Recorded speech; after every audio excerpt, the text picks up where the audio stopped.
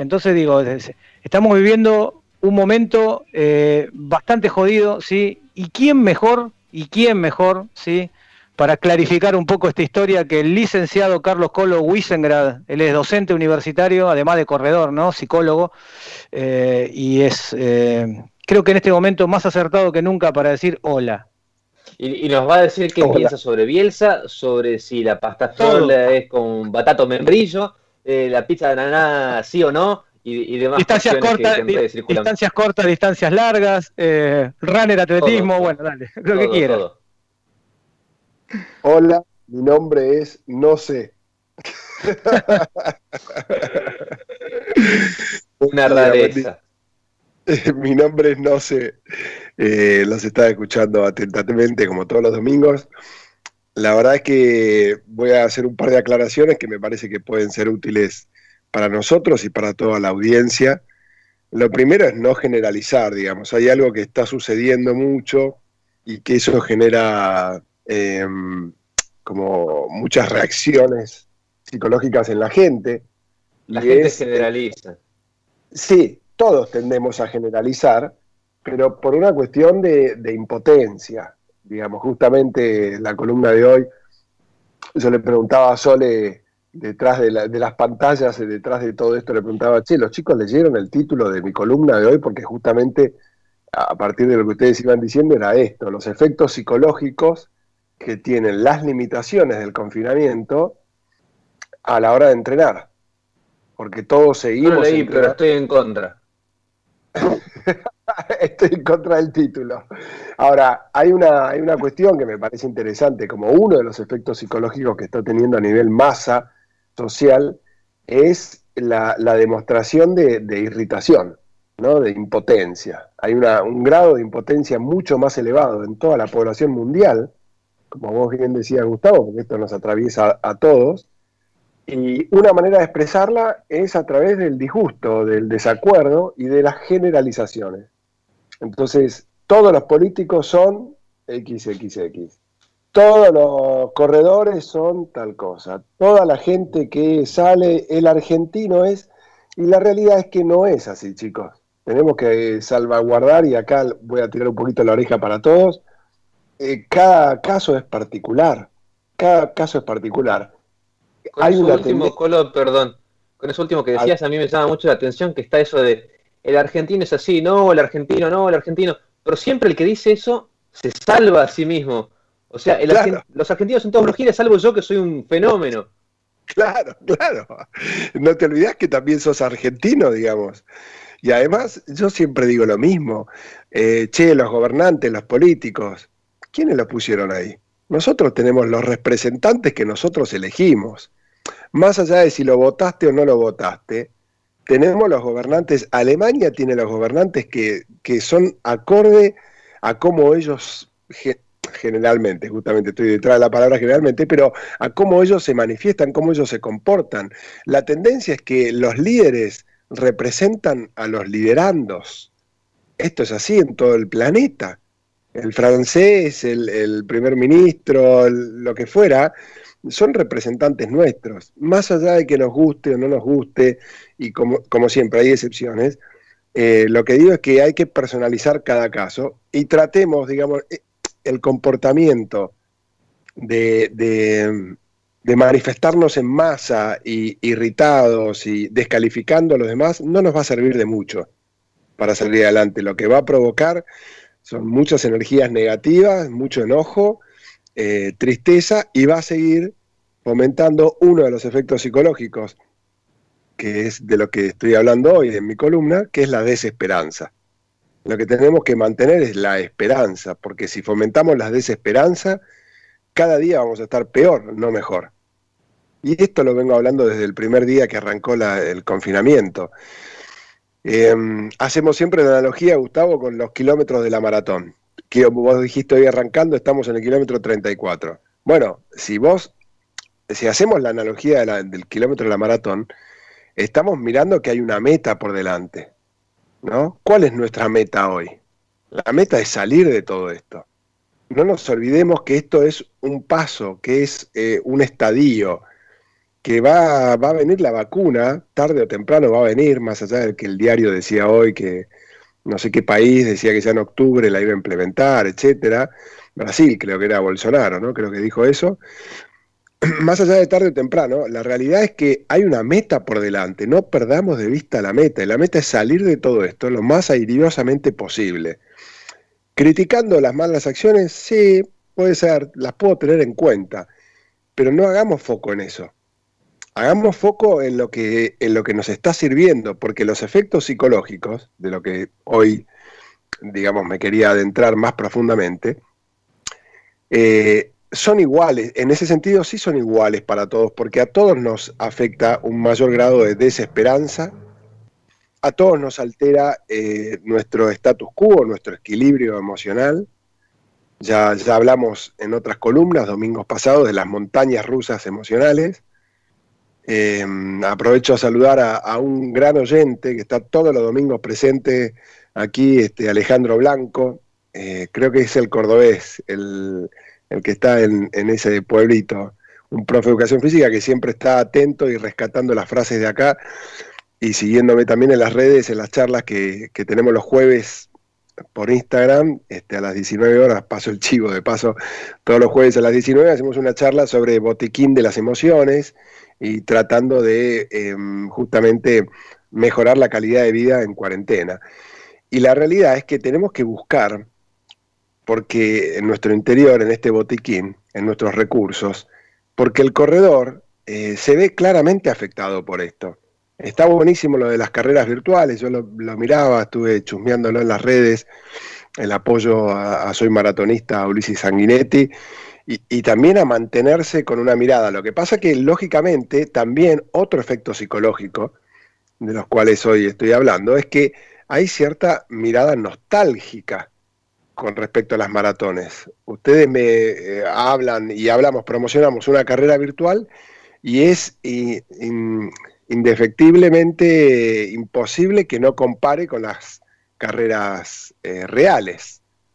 ¿no? Como las de las presenciales. Entonces, es como que uno también va hacia un grado de rememorar, la cabeza va hacia atrás, la mente me lleva a los recuerdos. Digo, uy, ¿te acordás cuando nos juntábamos el domingo a la mañana para correr y esto y lo otro? Y eso, ese efecto nostálgico, que es vivir en el pasado, digamos, que es llevar nuestro estado mental hacia el pasado, no nos permite conectar con el presente y nos ahoga un poco el futuro. Perdemos de vista la meta, no perdamos de vista la meta. Hoy el mensaje que le quiero transmitir a todos, más allá del, no sé de un montón de cuestiones, lo que sí sé es que la meta está por delante, no está por detrás. Ni tampoco la tienen los políticos. Ni tampoco la tienen los gobiernos de cualquier mundo, ni una farmacéutica que va a salir la vacuna. La meta está por delante y es salir airioso de todo esto.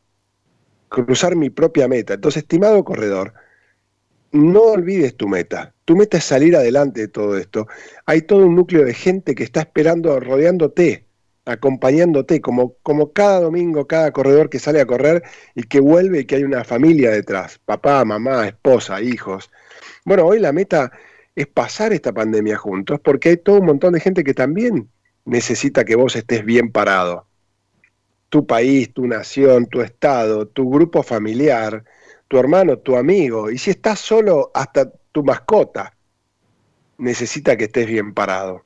Esto que hablaban ustedes, yo lo hablaba y le pasé a Sole el contacto de un gran amigo, el doctor Marcos Díaz Videla, que es un, psicólogo colega que, que, hizo en su tesis doctoral justamente la antropomorfía, que es este, el efecto de, de los animales que toman características, las mascotas toman características de los, de los dueños, ¿vieron? Y hay todo un estudio muy interesante que él hace, y también del, de los eh, animales mascotas como acompañantes terapéuticos de las personas, ¿no? ¿Qué efecto tiene una mascota en el bienestar de la familia? Después les voy a compartir, si no, parte de sus papers, de sus escritos, porque es interesantísimo. forma parte el fundamental. Pásame, así opino.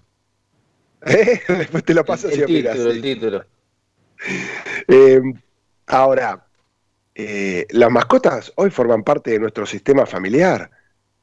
yo trabajo con mi mascota como psicólogo y muchas veces he convocado a la mascota porque hablan toda una familia que tienen cierta área de conflicto y traen a la mascota. Digo, las cosas están cambiando, gente, pero no perdamos de vista, por estos efectos psicológicos de desgano, nostalgia, desánimo, eh, estados mayores de ansiedad. Yo lo dije también, ¿se acuerdan las primeras, los primeros domingos que todavía teníamos la posibilidad de ir a la radio, a la radio Late, a FM Late, que que decíamos cuidado porque lo que se viene después, la segunda pandemia, es una crisis a nivel mundial de salud mental. Y esto está sucediendo, digamos. Esta semana salieron bastantes artículos en los diarios, por eminencia, como Facundo Manes, presidente de INECO, que decía que el 70% de los adolescentes entre 16 y 25 años presenta síntomas y conductas asociadas a la ansiedad y a la depresión. La locura, ese, dato es una locura. Lo, lo leí. Lo leíste. Aclaremos, porque hay, una, hay a veces una mala interpretación. No es que el 70% de los adolescentes está deprimido, sino que presenta, conductas. Claro. está bien que son asociados con eso. Es decir, el impacto en ellos se lo ve más claramente. El adulto tiene más recursos para tapar, como que somos más caretas. ¿Viste como lo dicen los adolescentes? Sos careta. No, nosotros nos paramos, pero igual está repercutiendo por dentro esto que estamos hablando, las crisis de ansiedad, los desánimos, los, los momentos disruptivos de ánimo, de bajones que experimentamos todos, inexplicables, que decís de golpe se me acabó la energía, te apagaste. Sí, pero ¿cómo puede ser? Bueno, lógicamente porque el polo conductual, esto lo hemos hablado también antes, lo que yo permanentemente estaba, no, ahora tengo que ir a la radio, de la radio tengo que ir a entrenar, de entrenar me encuentro con Juancito, de Juancito me encuentro con Marcelo Link, después me encuentro con el... Tengo un cronograma que me empuja para adelante, entonces no presto atención a algunos indicadores de que quizás mi energía no esté elevada. Y la mantengo viva hasta la noche que por ahí me desplomo. Hoy no pasa eso. Hoy no tenemos ese polo conductual abierto. Entonces, al no tener todas esas actividades, cuando de golpe mi mente me lleva hacia, hacia, estos, hacia algunos de estos efectos psicológicos, producto del confinamiento, ¡pum!, me desplomo. Y tengo bajones de un rato, en algunos casos, otro rato, en otros casos de varias horas, y después vuelvo a activar. Por eso la importancia, coincido con el licenciado Marcelo Link, que también desde el primer momento a nivel global, todos los científicos dijeron, actividad al aire libre tiene más beneficios que posibilidades de perjuicios. La realidad, chicos, es que todavía no se sabe, se sigue estudiando a este bicho y todos los días cambian, que si está en el aire, que si no está en el aire, que si está en la zapatilla, que si no está en la zapatilla, pero todos coincidieron, los expertos, los científicos, desde el día uno, en que mantener actividad física nos mejora el sistema inmunológico, ergo nos mejora nuestro sistema psicológico, ergo nos mejora nuestro sistema emocional. Y ergo todo el sistema familiar mejora si yo estoy mejor. Entonces tenemos la obligación de seguir corriendo, barra, caminando, barra, arrastrándonos hacia la meta, pero no perdamos de vista que la meta está ahí adelante no está atrás, no está en los políticos, no está en la crítica eh, hacia, los hacia la gente, hacia los que lideran esto, sino en la conducta que voy manteniendo diariamente por sostenerme lo mejor posible. Ahora, eh, excelente, eh, excelente, de verdad, excelente, me parece, quedó redonda como para reproducirla también en, la semana y aquellos que están disfrutando, seguramente te están disfrutando. Ahora ven por qué en algún momento te voy a traer una anécdota que a, modo de cierre, que es que en algún momento nosotros en alguna franja de Factor Running usábamos un separador que decía eh, correr te hace mejor persona, ¿sí? Y no sé si te acordás, y, sonaba, eso era como un cliché nuestro. y un día alguien eh, escribió, pero pará, si naces una mala persona, correr no te va a mejorar. Y no nos referíamos a eso, nos referíamos a esto. Eh, me explico, dijo con otra frase, digo, si, si nacés HDP, eh, o sea, por más que corras, vas a volver y vas a seguir siendo un mal tipo, o sea, que te vas a sentir mejor, sí, pero seguís siendo un mal tipo. Pero nosotros no nos referíamos a la esencia, nos referíamos a que a todo lo expuesto en estos últimos siete u ocho minutos por el licenciado Carlos Colo Wissengran. Nos referíamos simplemente a eso. Claro que sí, claro que sí. Es un placer estar siempre acá poniendo el granito de arena y sobre todo porque de alguna manera, chicos, Juan, Gusti, Sole, eh, Flor, que también está el, el Chipi, eh, Marcelo Link y yo, estamos adelante en la trinchera, bancándolos. En la trinchera quizás desde atrás, porque ustedes son la primera línea, el oyente es la primera línea y nosotros venimos desde acá atrás haciéndoles el aguante, acompañándolos todos los domingos y ojalá que lleguemos juntos a la meta. Bueno, Colo, como siempre un verdadero placer. Un placer enorme. Te mandamos un abrazo grande. Escúchame, el jueves, ¿cómo es esto? El jueves, ¿a qué hora y dónde te encontramos en el live? Los jueves, todos los jueves desde que arrancamos la pandemia, a las 19 horas desde mi Instagram, eh, tenemos una charla con la licenciada Marta Trica, donde justamente interactuamos con todos los oyentes y ahora vamos a hacer un ciclo de cinco temas específicos por cada jueves para tratar de acompañar y mejorar el botiquín de las emociones de cada uno de los oyentes. Excelente, querido. Que estés muy bien. Buena semana y gracias.